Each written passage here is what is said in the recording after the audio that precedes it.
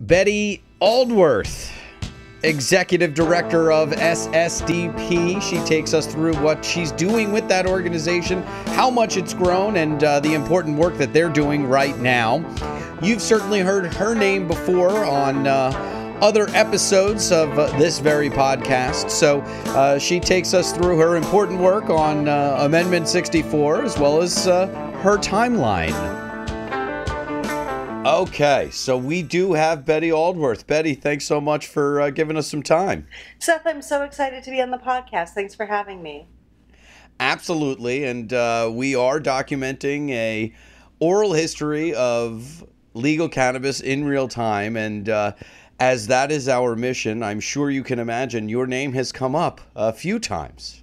Well, I couldn't have been any luckier than to uh, been tapped to carry the voice um, of the Amendment 64 campaign in Colorado uh, as the uh, one of the spokespeople, and then also as advocacy director, heading up the grassroots there. So, um, having been so engaged in that first uh, in the campaign that that made Colorado the first state uh, to regulate cannabis uh, in the modern era is pretty exciting.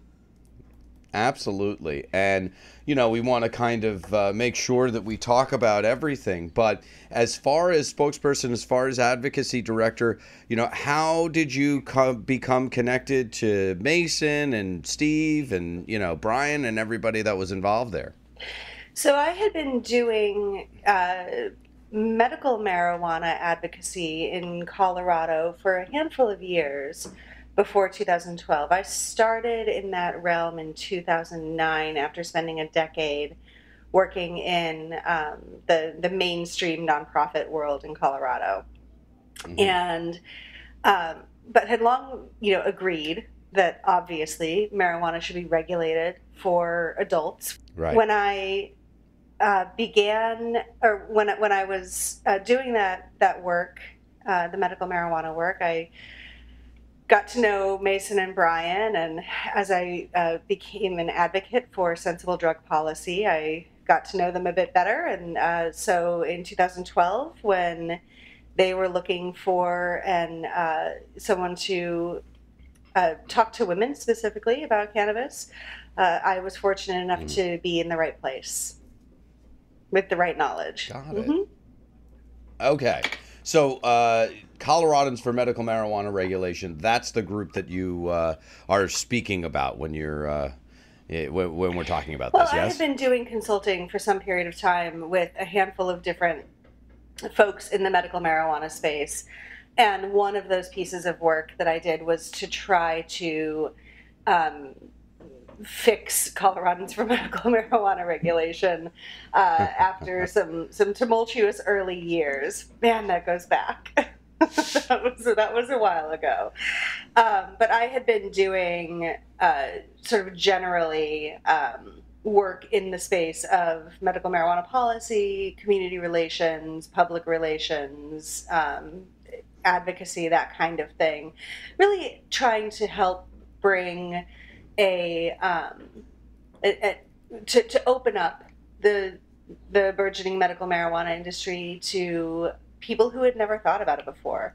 And that's one of the things that I'm really mm. passionate about in this space is uh, introducing people who have never thought about medical cannabis as an option to the notion that it might help them either for their serious illnesses, but even also for you know general wellness. That's a very exciting realm for me. Uh, so I was doing that kind of work, uh, and Coloradans for Medical Marijuana Regulation was yes uh, one of the things that I did in that time. Okay, well let's let's understand how and why this is a passion. Let's uh, what we would love to do is try to figure out where that uh, kind of concept or thought process uh, germinated uh, or was generated. So, so, where are you from originally? I was born in Chicago, raised in southern uh-huh. Nevada, lived in California for a couple of years, and then when I was 19, I moved to Colorado and stayed for a very long time. Uh huh. okay, so uh, kind of dotted the map to uh, Colorado. Fair enough. How long were you in Chicago, uh, Chicago for? Oh, I was born there, and we moved when I was like four or five. My parents couldn't take the snow anymore. Got it. And do you remember Oh, Chicago course, or of course, yeah. I even have family Yeah. in the cannabis industry in Chicago, and I'm very excited that we are finally going to start to see some movement on uh, safe access for medical cannabis for people in Illinois. Okay. I'm. You said I'm really excited. We've uh, spoken with uh, Tim McGraw, one of the producers there, and uh, it sounds like uh, we're close to, to having something happen. Uh, you know, as far as product is concerned, uh, in the, over the next couple of months. Is that is that what you uh, what you know based on having family there? That's uh, well, my family is in uh, on the the on the uh, lighting side, but the um, from what I'm seeing, uh, b- based on news reports and talking to others who are doing work in the cultivation and retail space, that's my understanding. In just a few months, uh, Illinoisans will have actual medical cannabis uh, produced uh, and available for sale, which is such an exciting thing. Uh, I think that as we bring these uh, regulated markets to more and more states, uh, not only are we going to be helping millions of patients, uh, but we're also going to be really moving the conversation forward on uh, regulation of, of cannabis broadly, um, as well as you know creating, I think, a healthier society. Yeah, and you know, as more patients gain access, the you know we can't help but prove the point. I guess is is is what you're saying there. Sure, right. So there's this, you know, there, there's this something that happens, I think, in the minds of people, of, of voters, when you are exposing them to this idea that, hey, cannabis can be regulated safely for adult, for medical use. Um, they can't help but think, hang on, we also can regulate all of these other things for any number of different Right. uses. Uses. Why are we locking people up for using, you know, for this one particular item um, that is, you know, it- it's all the the same old things that that we Yeah. we know so well. It's safer than alcohol. Um, you know, it it's a waste of government resources, and all of those things really come. All of those ideas really get crystallized in the mind of the voter when they are seeing cannabis businesses behaving responsibly, transparently, and ethically in their own community. Absolutely. And so, if we're tracking uh, your timeline and, and your route, uh, you said you were born in Chicago, spent four or five years there. Your uh, movements tie in nicely with what's happening in the industry now because you go from Chicago to Nevada That's uh, in your life at age so- five, right? Uh, it's Nevada, What's that? not Nevada.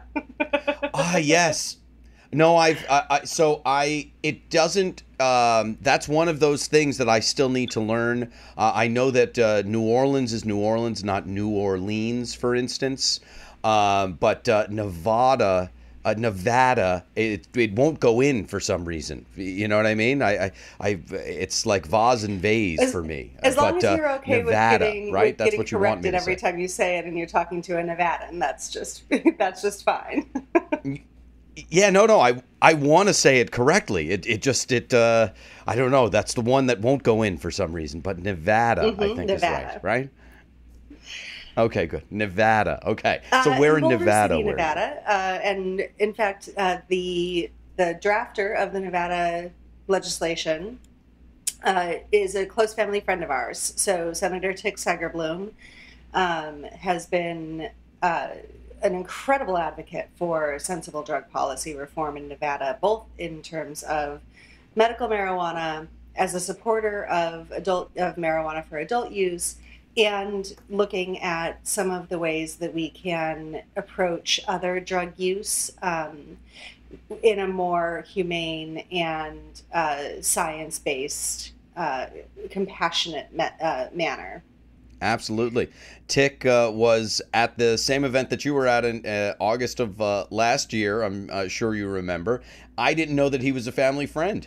He is, yep. And I'm so pleased with the the way that Nevada is coming along uh, in terms of developing a, a safe access methods for patients there. Unfortunately, it was a little too late for my grandmother, who passed of ovarian cancer. When I'm sorry to hear that uh, Thank you. Um, when Nevada still was a total mess in terms of their medical marijuana program. So many people don't know that Nevada was one of the early states to come along with a solid medical marijuana program. But because the access wasn't there through regulated markets, it was tremendously difficult for people to uh, access that marijuana, that medical marijuana. And, you know, when it came to my grandmother's care, uh, my mother was baking cookies in her kitchen, and my mother's never used cannabis in her life. So it's, you know, it's a really challenging um, setup when there isn't that regulated market, as we all know. Uh, so Nevada's coming along. We should see stores open there very soon. Illinois, and of course, I'm lucky enough to live in two of the five places in the U.S. where marijuana is legal for adult use. Mm-hmm. And you're speaking of uh, uh, of Colorado, of course. Mm-hmm. Colorado, where my honey and my cats are, and Washington, D.C., where my team and my office is. So, uh, you know, we want to make sure to uh, to talk more uh, about your history. But in terms of DC, what is happening on the ground in terms of legal, uh, you know, use? Sure. So, you know, the Congress has been in a tizzy over what's happening in DC uh, since the initiative passed practically. Representative Andy Harris out of Maryland has made it his personal vendetta to make sure that we can't uh, enact legislation that or this initiative that vo- the voters so clearly wanted. I mean, adult use marijuana legalization passed by 70% in DC. There is no question that DCists want this. Uh, so Mr. Harris has uh, tried to block, along with a handful of others in Congress, our ability to enact Initiative 71 and any further legislation. Fortunately, it looks like um, you know the the ability to enact Initiative 71 is not in the hands of Congress, um, mm. or at least they weren't able to act quickly enough. So, for all intents and purposes, and in the, the current interpretation, uh, marijuana is legal for adult use here in DC. They have been able to block the district council from uh, whose budget they control in many ways, Congress controls in many ways, from figuring out how to place a regulated market and do licensing for stores. This is, of course, deeply problematic um, in terms of you know our DC's um, ability to respond to the will of the voters. So you've got you know the the statists here, the the I shouldn't call them statists, the people who uh, argue for statehood, the uh-huh. statehoodists um, here are uh, you know standing alongside uh, the cannabis a- advocacy community to try to ensure we can enact this law.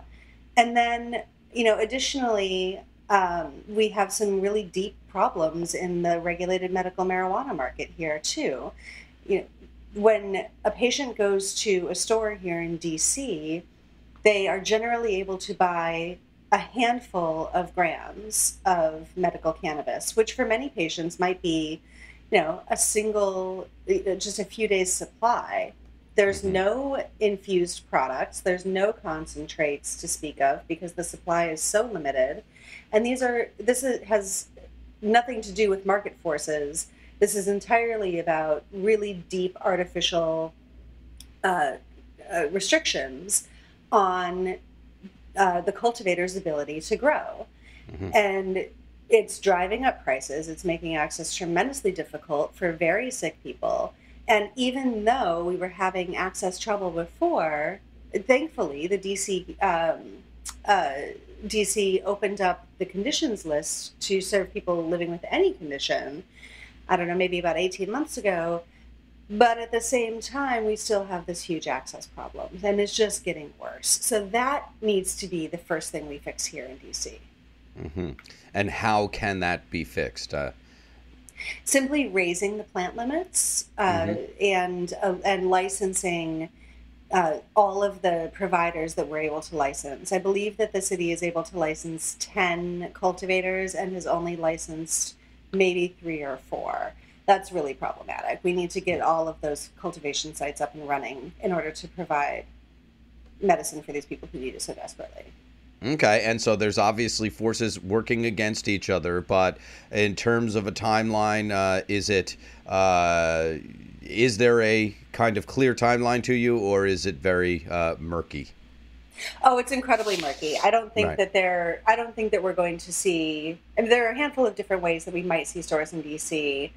Um, at some point, my best guess is that um, it will come uh, in a handful of years, probably after some litigation. This Okay, will, this will probably be a court decision. in a handful of of years. hmm So let's then uh, go back to your timeline, and uh, where we left you was Boulder City, Nevada, right? Oh yes. hmm Okay, and uh, what? How many years did you spend there? Uh, I grew up there for my. Uh, I lived there from four or five until I was seventeen.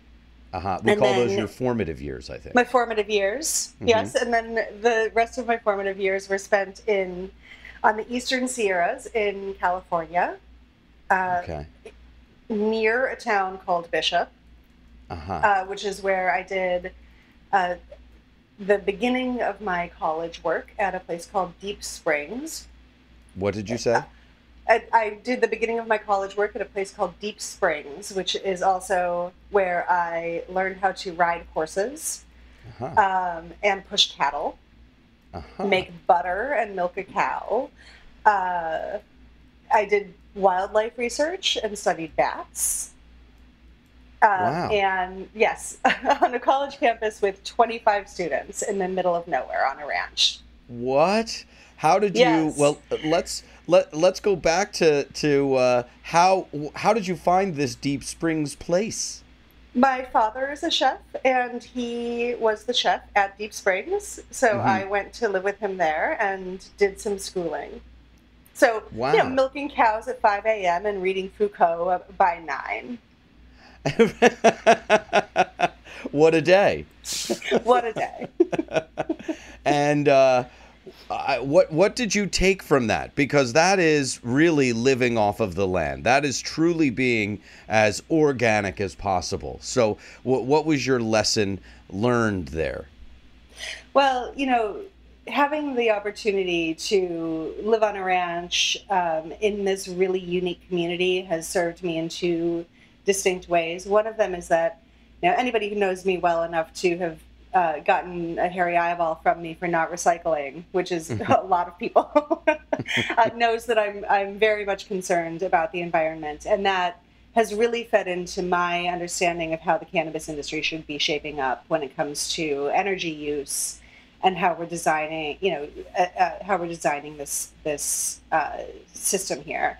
Um, Sure. You know, I'm a strong and avid supporter of outdoor and greenhouse grows. I very much oppose the use of um, harsh pesticides and any other chemicals that are going to have a negative downstream impact, much less a negative impact on the on the consumer and the the workers. Uh, those kinds of things are, are of tremendous importance to me. Um, additionally, uh, it was you know it, when you're living on a ranch with 50 other people, um, 25 of whom are students, and uh, you are uh, having that kind of uh, community building experience hmm there's something tremendously unique about that. And you identify you know deep springers identify each other um, in a way that is very similar to the way that SSDPers identify with each other. So even though i wasn't an SSDPer in college because it didn't exist then um, i have been able to appreciate and, and understand the ways that SSDPers connect with each other and um, kind of make myself a part of this community because of that um, that experience at Deep Springs. Absolutely. And uh, SSDP is what you're doing in uh, DC, and we are going to get to that. And when you say SSDPers, uh, uh, you know, uh, relate to each other the way that you uh, do, so it's a special type of thing when you get in the room with Kris Krane, I would imagine. Th- things like that is what you're saying. Oh, no question. No question. Right. You know, right. folks like Troy Dayton, Kris Krane, Shea Gunther, Chris Latlakar, these people who are doing really interesting work uh, Shaleen Title. Oh my goodness, that woman. Uh, you know, the, the, these folks who are doing such interesting work at the at the forefront of this movement, mm-hmm. um, and who really understand that you know, in a, a visceral way, that movement, that, that the industry is part of this movement, um, and and is inextricably connected to it. Um, these folks are, I think. Um, you know, so many of them are SSDPers. So many of them came out of our network, and so many of them are um, carrying those values very strongly into the industry. I'm very grateful for that. But we also tell a lot of fun stories from the early days. well, uh, well, let's t- let's uh, jump into SSDP. Let's get maybe even one of those stories if we can. Um, but you know before we go any further, let, what is going on right now? What is your mission as we speak? We're in June of 2015. You know, what is at the top of Betty Aldworth's executive director desk? Yeah, so uh, just a brief, a brief overview for those who aren't familiar with the organization. We are um, the we are the student movement to end the war on drugs. Um, so we have students on two about 250 campuses, maybe four, five, six thousand members who are all sharing these same values. The, the war on drugs is, is a failure. It is particularly a failure for youth, uh, who are precisely the people it purports to protect. And uh, youth need to rise up uh, with, you know, and, and rise their voices, raise their voices against these policies that they know don't serve them. So that happens in many different ways on these campuses. It might be that students are working specifically to uh, uh, end marijuana prohibition in their communities, or um, you know, end some of the unjust uh, laws affiliated with it. It might be that they are working for medical marijuana access, or that they are working to implement harm reduction policies like Good Samaritan 911 programs uh, where if somebody is um, undergoing an overdose, experiencing an overdose because of drugs, including alcohol, they can call for help without fear of prosecution. You know, those those few minutes where people debate um, are critically important, and Good Samaritan policies save thousands of lives every year. They might be working for access to naloxone, uh, which is an opioid overdose uh, reversal drug, um, also saving thousands of lives every year. Uh, access to clean needles so that we're not seeing transmission of um, infectious diseases among injection drug users. And all of the policies that go along with that, drug checking and safety in ven- you know, nightlife venues, um, these are all the sorts of things that SSDPers care about. So they have the ability to decide what it is they want to be working on, um, and they are pushing for those policies about which they are most passionate on their campuses. And are you now getting an influx of uh, students that are familiar with you beforehand? Whereas I think, you know, in Kris Krane's day, it was more of a, an upstart. Uh, do folks know to find SSDP on campus? Well, when you are, uh, you know, 1998, it, our founders uh, discovered each other through bulletin boards on the internet, you know, right. on the early internet. And that was a very, very different day. Um, now, when you, uh, you know, you can you can find us very easily when you Google, you know, students war on drugs. Um, yeah, and uh, it, it's it, we certainly have a, a much stronger um, reputation and a strong reputation in the drug policy reform community. Uh, oftentimes, students will find us um, you know, if, if we don't have a, a chapter on campus already, Um, they might see their friends go through a traumatic experience related to uh, drugs themselves, or uh, you know, a, a, a collateral consequence, uh, harmful drug war policy.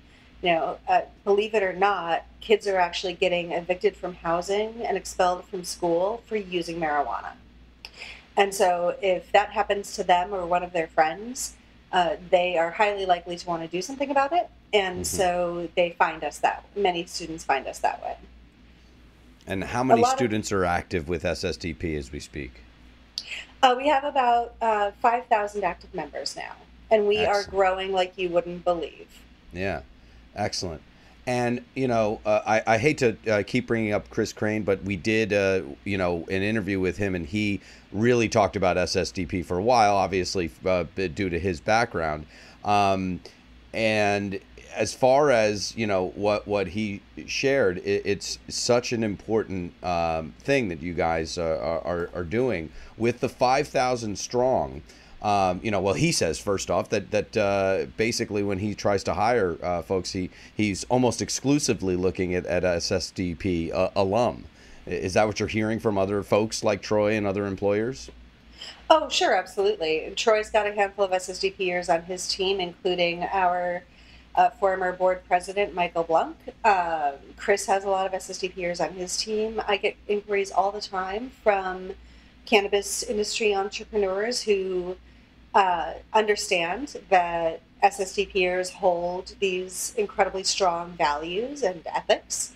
Um, SSDPers are going to be interested in protecting a transparent, uh, responsible uh, cannabis industry, and they are, you know, they they get this industry movement relationship better than mm-hmm. anybody else, mm-hmm. um, and as students go through the process of being an SSDPer throughout college, it's not just that they're changing this work, uh, doing this work that is changing policy, they are also building extraordinary leadership skills.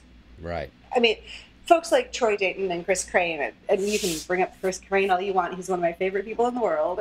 right. you know, uh, these these guys uh, were probably born leaders, but there's no question that their SSDP experience accelerated their ability to lead, uh, especially within this space. We're, mm-hmm. we're working on, you know, as these young people are figuring out how to navigate campus policy, state policy, local policy, whatever it might be. They're also learning how to organize people.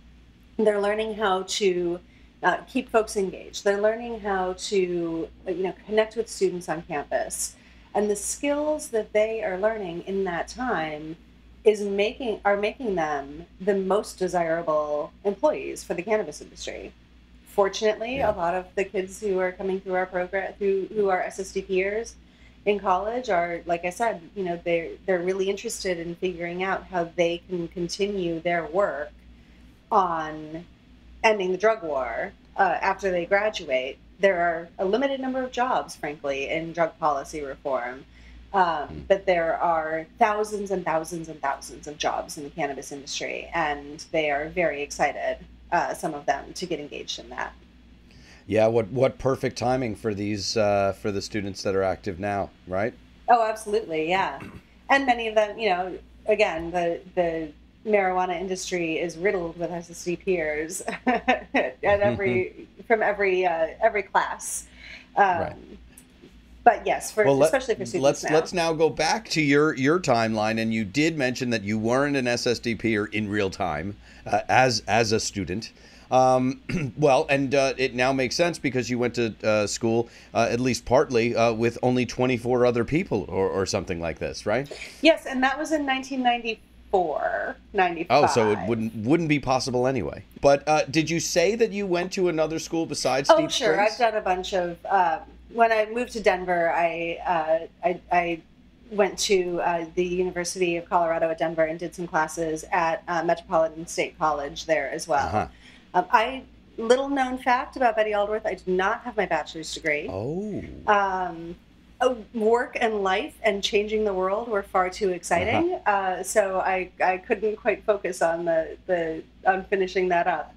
Um, as I was building my career as a volunteer uh, leadership professional, um, I, I wound up focusing more on that. And uh, as far as folks that uh, we've spoken to, even on this episode, uh, or ex- excuse me, spoken of, Tim McGraw also uh, no no bachelor's, no no uh, no college degree. Uh, so you're in good mm-hmm. company, mm-hmm. certainly. So you are one of these people that uh, kind of can't sit still and kind of needs to get going. And so when did you realize that? So you, you know you, you kind of went to Deep Springs for a little bit, and maybe you did some time at the at University of Colorado Denver, like you said. And um, but w- when did it kind of uh, occur to you that you needed to be doing as opposed to learning? Well, I've I've been uh, an activist and advocate since probably before I could walk. I was raised in a household where um, participating in your community and uh, and and trying to change the world for the better was one of the core values of, of our family. Mm-hmm. Uh, we used to you know, every Easter, after hunting for Easter eggs, we would go to the Nevada test site for the annual protest, uh, the, the annual anti-nuke protest. Um, I organized my first action when I was 13. No, it it was turned out to be me and my mom doing trash pickup down by the lake because nobody else showed up. but regardless, I tried to organize my first action when I was 13. These are things that you know, changing the world has always been. Um, in whatever ways I can, you know, in small ways or, or big ways, um, has always been tremendously important to yeah. me. You know, Khurshid Khoja and I uh, have reminisced fondly because we both were doing anti-apartheid uh, demonstrations and actions uh, back in the, the mid 90s. Um, and so there are that that has never been a surprise to me. We Aldworths are people who are very much engaged um, and who are uh, working hard to, to do something. So my inability to sit still is probably born a little bit out of mm-hmm. that. Mm-hmm. You know, uh, when I was doing uh, professional volunteer leadership, uh, it, it, was so compelling to have the opportunity to talk to people, uh, figure out what drove them, and then help them maximize their impact. Uh, and and that again is something that's very similar to the work that we're doing here at SSDP. Mm-hmm. Absolutely.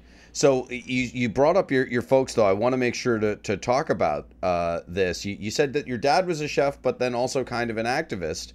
Um, you know, t- tell us a little bit more about him and uh, how he instilled the kind of the values and and your mother of course as well but let's do your dad first uh, instilled the values that that you've got what uh, was he a chef full time and uh, an activist part time or uh, you know what what was his deal yep so my dad uh, was and is a hippie um, and uh-huh. and has been you know protesting since the the mid 60s i suppose or started you know, protesting then, and um, still is very much engaged in um, raising his voice against injustice um, and in um, and has been tremendously supportive of the work that we do. Uh, he was a chef, um, but is uh, uh, on disability now. He has a variety of different um, spinal conditions um, and is unable to work at this time. But he is very much um, active and engaged in uh, in discussion in his community and uh, around injustice and and uh, he's also you know a gardener and uh, makes some his his wonderful wife my stepmom Jill makes some great jams uh, from his orchard and so he's uh, you know living a fairly responsible environmentally environmentally responsible life uh, on the Eastern Sierras in California, near where he was chefing at the time. Got it. I'm really lucky though. I am surrounded by chefs. You are okay. How so? Mm-hmm, mm-hmm. Well, my honey, my dad, and my sister are all chefs. Okay. So I, yep. And uh, your honey that you that you speak of, what, what, t- let us know more about this person who you've who you've referred to as honey twice. oh, Jason, he's wonderful. Uh, he is. Uh, we met when we were both working at uh, one of the nonprofit organizations where he was a chef feeding people living with life-threatening illnesses. His job was to figure out how to um, uh, feed people with hundreds of different combinations of dietary restrictions. So he's really familiar with how to feed sick folk and uh, has been tremendously useful, I Right. think, in um, helping me understand what's important for patients uh, who are, especially those who are consuming medical marijuana edibles. He's now working in uh, Denver for a nonprofit organization that is a drop in day shelter uh, for women and children who are experiencing poverty and homelessness. And I'm tremendously proud of him. He's got the biggest heart of anybody I know. And then, of course, I was also shaped a great deal by uh, the, the women in my life. Um, my mom and grandma uh, were some of the fiercest. My mother is uh, is still one of the fiercest um, women I know, and she taught me a tenacity that without which I certainly wouldn't be here today. Mm. Um, her her she instilled in me a, a great understanding of uh, what it takes to hold on um, and keep moving, and how incredibly important that is as a value. How how so? What? Let, let's go a level deeper there. Well, you know, she uh, and my grandmother uh, didn't have it particularly easy uh, when it came to, um, you know, navigating the world. Um, and their ability to um, keep standing uh, when they were taking some hits was was pretty amazing. Um, my, you know, in a very different time, my my grandfather, uh, when my mom graduated and her, her sister graduated from high school, um, he told them that they could, you know, move out or start paying rent. Uh, all the while he was paying for college for my uncle. Um, you know, and that was again, again, it was a different time. Um, but my mom and aunt turned out to be incredibly successful professionals, uh, even though they didn't have the same opportunities as their brother, and and they turned that into something that really served them. Um, and they got really tough. So uh, that was something that I needed desperately uh, when things were hairy in Colorado, um, and and when things have been tough. Uh, you know, as as we're navigating this medical marijuana space, and there was a time not very long ago that a lot of us remember well, especially Coloradans, but we see it in so many other states where um, everybody was just, you know, dug in with their fingernails, trying to hold on and make sure that we could navigate regulatory changes and all of these challenges that were that were threatening people's businesses and well-being so far beyond the fact that we were all engaging in federally illegal activity. Um, you know, and, and Mm.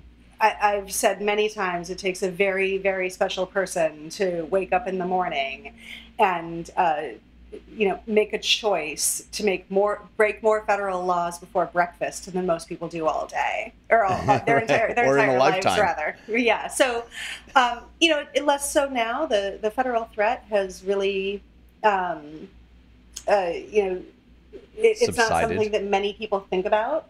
Uh, Yeah. the laws haven't changed at all, but certainly uh, public opinion has, and, and it's probably safe-ish to assume that you know public opinion wouldn't allow for a crackdown on medical marijuana. Um, but uh, one of the things that worries me about the way that the industry is taking shape right now is that people don't seem to really be thinking about the fact that they are there, there isn't that ever present feeling of uh, you know acknowledgement um, that we are engaging in a federally illegal activity and that there is danger and that there are a lot of people sitting in prison for engaging in exactly the same behavior that we are now holding up and getting on the covers of magazines for.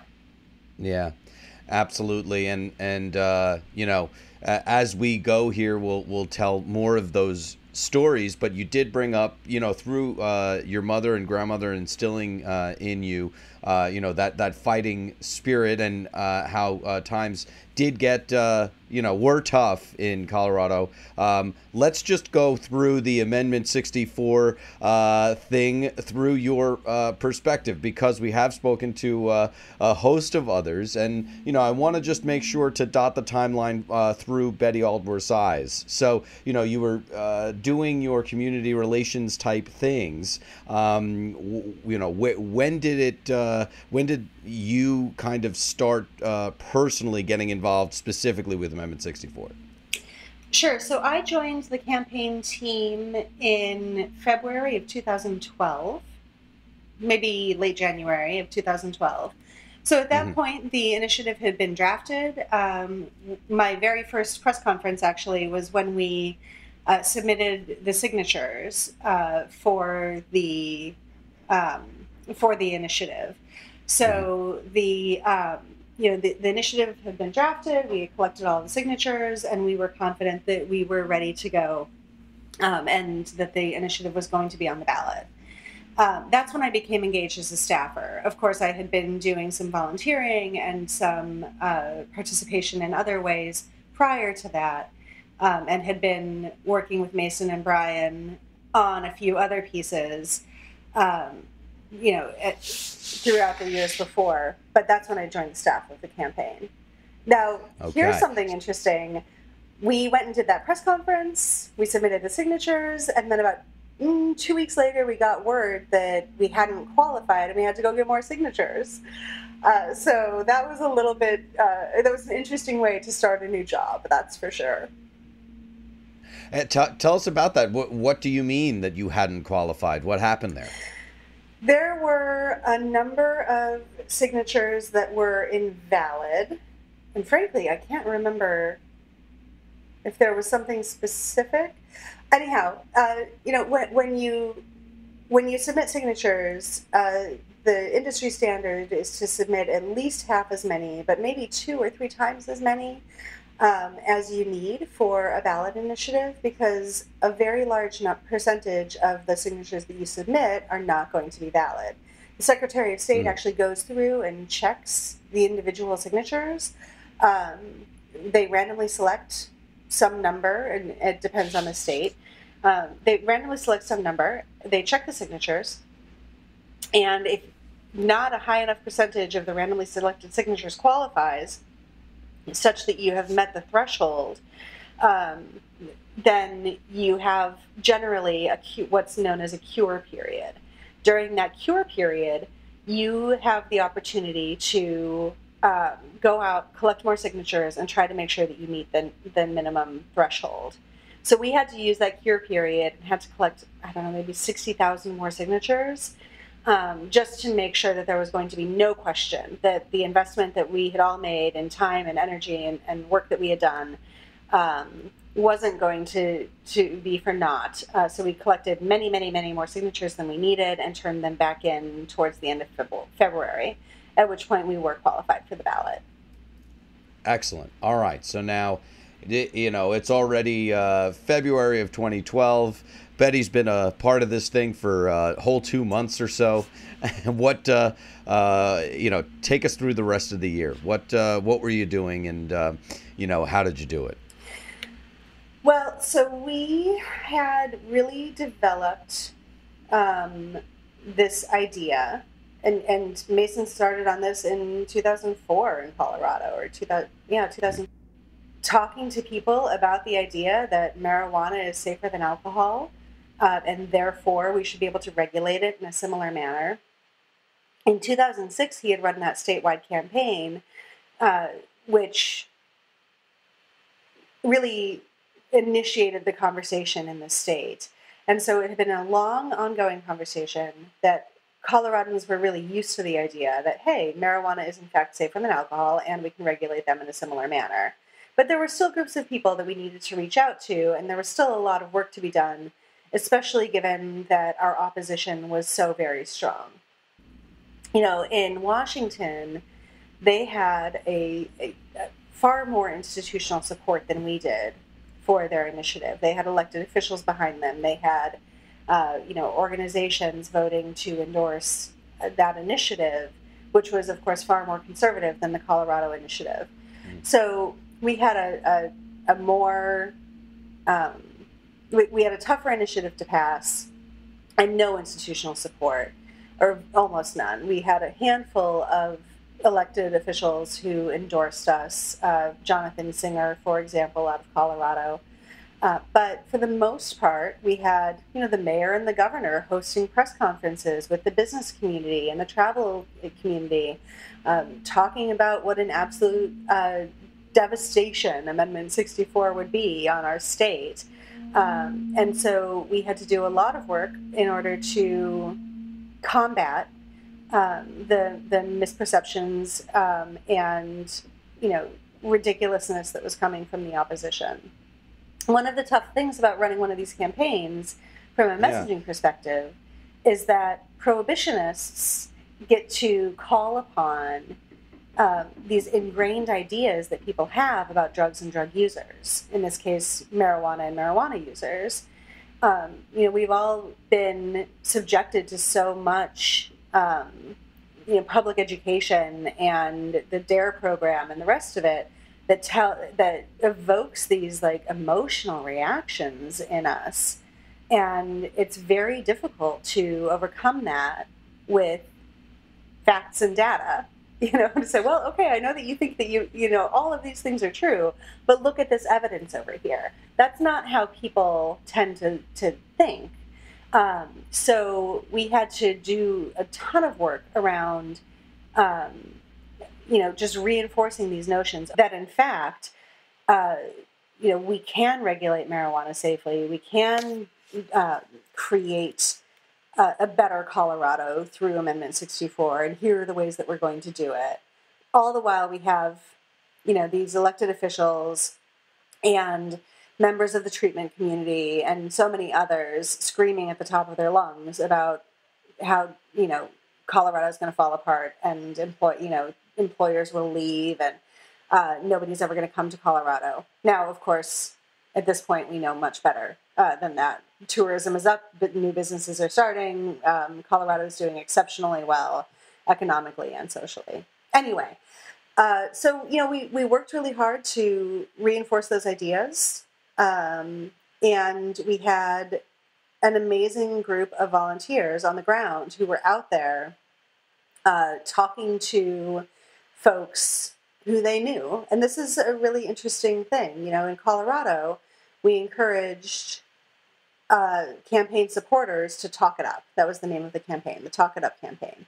So we released videos, we sent out emails, we we communicated with people over and over and over again hey, it's Fourth of July, you're going to a barbecue. People are, you know, this is a great opportunity for you to talk about uh, marijuana, you know, inject this idea into the conversation about marijuana being safer than alcohol.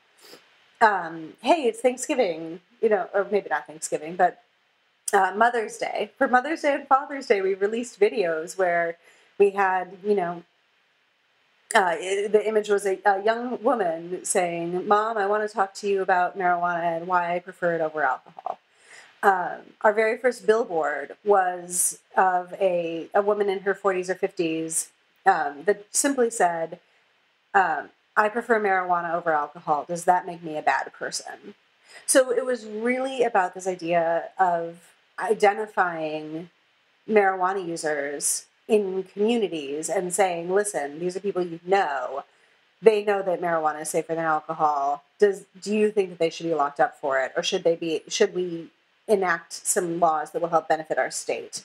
Um, you know, when it comes to how people go about getting their cannabis, or should we continue to put them in danger? Uh, and and that shift uh, in thinking, I think, was was tremendously important to reinforce. Amazing. Uh, so we knocked on a lot of doors.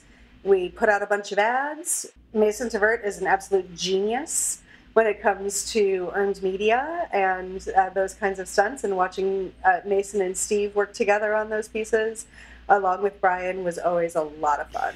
Uh, no, it, it does. I mean, it sounds uh, like it was an amazing time, and we know that it uh, it, it, absolutely was. And uh, to be on the ground, and, and then to have the success, it sounds like you guys counted as it as a success uh, even before uh, you did win, and no one counted on winning until you know after it was announced that that it had passed. Is that right? Is that about right? You know, I think towards the end of the campaign, we were really hopeful. We thought, of course, you can never, ever, I don't care how far ahead you are in the polls, you can never count on the idea that you're going to win. You have to keep up that pace and uh, up until the, the polls close. And on election day at 7 p.m., we hung up our, our very last calls. I remember sitting in uh, in in the the peace room, as we called it, not the war room, uh, and uh, you know, working on uh, actually making phone calls up until like six fifty five, practically. Um, and and we had volunteers in all day. We were out there waiting signs, you know, and, and th- there is never a moment until the polls close that you can relax when it comes to an election. But in the last handful of weeks of the campaign, I think you know for the most part, we were feeling like there was a really good chance that we were going to win this thing. Uh, I didn't write a speech um, it, that addressed the possibility that we were going to lose because I didn't. I, I, didn't think that I would need to. And our friend Perry Rosenstein, who uh, came out to work on the campaign with us from California, he had been working on Prop 19 and really active um, in helping with developing our online assets. Um, Harry uh, looked at me one day and he said, You know, we're going to win by 55%, right? I was like, Perry, you're out of your mind. Well, he was right. we won by 55%. And he told me that a couple of weeks before the election ended. So you know, there's there's so much more to to talk about there, but uh, you know, we only have the time that we have, and so you know, I do want to kind of um, ask you uh, our two final questions that we ask everyone. Um, and for you, it'll be difficult to uh, to answer them separately, I'm sure. But uh, let's take a crack at it. The first question is, what has surprised you most in cannabis? The second question is, what has most surprised you in life? And considering who you are and what you do, it might be diff- uh, difficult to, to separate the two, but give it a shot. Uh, first off, what has most surprised you in cannabis? Oh wow, that's such a big question. Um, you know, I think the thing that's most surprised me in cannabis is the people. Um, some of the people who are most important in my life have come to me through that world.